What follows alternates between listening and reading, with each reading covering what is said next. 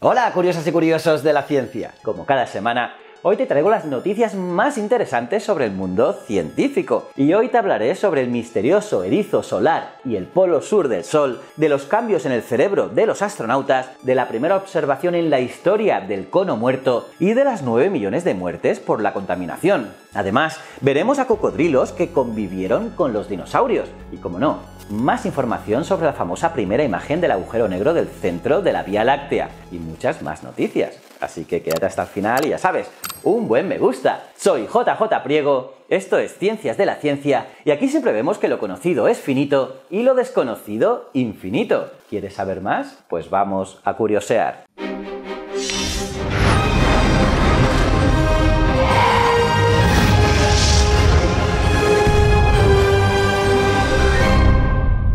Pues bien, estas son las noticias de esta semana.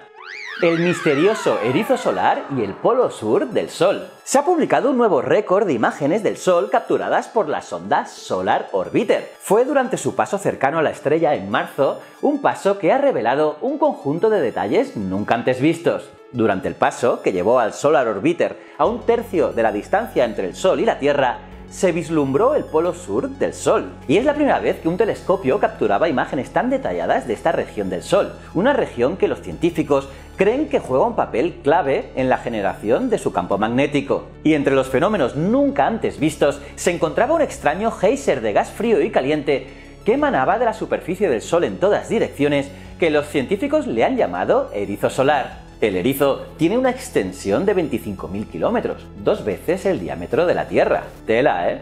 Los astronautas tienen cambios en sus cerebros después de su primera misión de larga duración. Un nuevo estudio sobre el efecto de los vuelos espaciales en el cerebro humano puede tener grandes implicaciones para las misiones de larga duración. Y es que estos astronautas tienen diferencias en sus cerebros en comparación con los cerebros de astronautas más experimentados y los de las personas que nunca han estado en el espacio. Específicamente, el crecimiento en los espacios del cerebro donde fluye el líquido cefalorraquídeo, ya que el líquido transparente que rodea el cerebro y la médula espinal se comporta de manera diferente en microgravedad, lo que lleva a los investigadores a preguntarse ¿Qué impacto podría tener el vuelo espacial en estas áreas? Y aunque los científicos sabían que estar en el espacio altera y potencialmente daña el cerebro, el estudio es uno de los primeros en abordar un aspecto específico de la salud del cerebro en el espacio utilizando un método comparativo y un grupo relativamente grande de astronautas. Primera observación del cono muerto, un fenómeno esencial en física de partículas. La colaboración científica ALICE del Gran Colisionador de Hadrones del CERN ha conseguido observar por primera vez en la historia el efecto de Adcone, una característica fundamental en la teoría de la fuerza nuclear fuerte. Esta une dos tipos de partículas, los quarks y los gluones, para formar protones, neutrones y en última instancia todos los núcleos atómicos. Estos resultados se han publicado en la revista Nature y además de confirmar este efecto, la observación de Alice proporciona un acceso experimental directo a la masa del quark Charm, el quark Encanto, antes de que éste quede confinado en el interior de los hadrones. Curiosamente, el efecto cono muerto fue predicho hace 30 años a partir de los primeros principios de la teoría de la fuerza fuerte, y es frecuente su observación indirecta en los colisionadores de partículas. Sin embargo, su observación directa a partir del patrón de radiación que produce la cascada de partones supone un gran reto para la comunidad investigadora hologramas acústicos en 3D para tratar enfermedades como el Alzheimer o el Parkinson. Esta nueva tecnología desarrollada en ratones facilita la administración de fármacos terapéuticos para el tratamiento de patologías que afectan al sistema nervioso central. Mediante esta nueva tecnología, un equipo de la Universidad Politécnica de Valencia, el Consejo Superior de Investigaciones Científicas y la Universidad de Columbia ha creado hologramas acústicos impresos en 3D para mejorar el tratamiento de este tipo de enfermedades. Los hologramas acústicos suponen una mejora respecto a los tratamientos previos con ultrasonidos y pueden corregir esas aberraciones introducidas por el cráneo. Y es que la técnica permite atravesar por primera vez la barrera hematoencefálica y lo hace en ambos hemisferios simultáneamente. Dicha barrera es un sistema de protección que controla y restringe la entrada de sustancias extrañas entre la circulación sanguínea y el fluido cerebral. Y con el control de esta se facilita la administración de fármacos terapéuticos para combatir patologías que afectan al sistema nervioso central. Tremendo, ¿eh? La contaminación fue responsable de 9 millones de muertes en 2019. El último informe publicado en The Lancet Planetary Health alerta de que una de cada 6 muertes en el mundo se debe a la polución. El trabajo alude también a que el 92% de los fallecimientos y la mayor carga de pérdidas económicas por este problema se producen en los países de ingresos bajos y medios. Y es que está claro que las repercusiones de la contaminación en la salud siguen siendo enormes, y en este informe se pone de relieve que el número de muertes por fuentes de contaminación asociadas a la pobreza extrema, como la contaminación del aire en interiores o el agua, ha disminuido. Sin embargo, han aumentado los fallecimientos atribuibles a la contaminación industrial del aire, del aire ambiental y también la contaminación química. Pero como podéis ver, las cifras son terroríficas.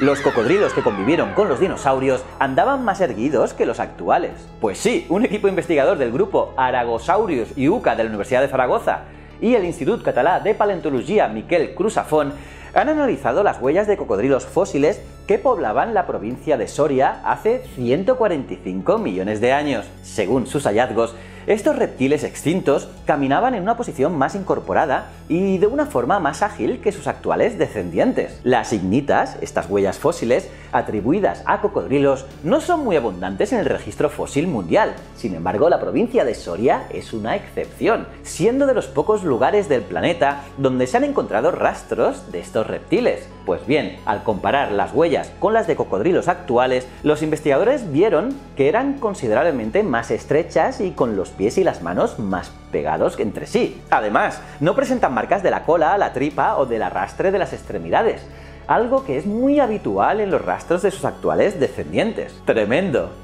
Redescubiertos los ornitorrincos y equidnas que demostraron que los mamíferos también ponían huevos. Pues sí, unos diminutos especímenes de ornitorrinco y equidna llevaban 150 años ocultos en frascos en los almacenes del Museo de Zoología de Cambridge. Pero ahora los ha encontrado el subdirector del centro, Jack Ashby. Y ojo, que estas muestras permitieron confirmar en su momento, a finales del siglo XIX, que algunos mamíferos ponían huevos lo que cambió el curso del pensamiento científico y apoyó así la teoría de la evolución. El redescubrimiento del científico es la prueba de que durante los dos últimos siglos los científicos han menospreciado sistemáticamente a los mamíferos australianos, describiéndolos como extraños e inferiores. Pero según Ashby, los ornitorrincos y los equidnas no son animales raros y primitivos, como los describen muchos relatos históricos, ya que están tan evolucionados como cualquier otra especie. Lo que ocurre es que nunca han dejado de poner huevos. ¿No os parece curioso? La arqueología también tiene lugar entre las estrellas. A la espera del final de la Estación Espacial Internacional, que será en 2031, un equipo internacional de investigadores ha conducido, con la ayuda de astronautas en órbita, el primer experimento arqueológico en el espacio. Su misión, investigar por primera vez en sus tres décadas de historia los componentes sociales y culturales de esta microsociedad que servirá para guiar el diseño de hábitats espaciales en el futuro. Y así, antes de que se hunda en el Océano Pacífico en 2031, arqueólogos, sociólogos y antropólogos estudian las dinámicas culturales de la tripulación de la Estación Espacial Internacional como una microsociedad en un minimundo. Interesante, ¿verdad?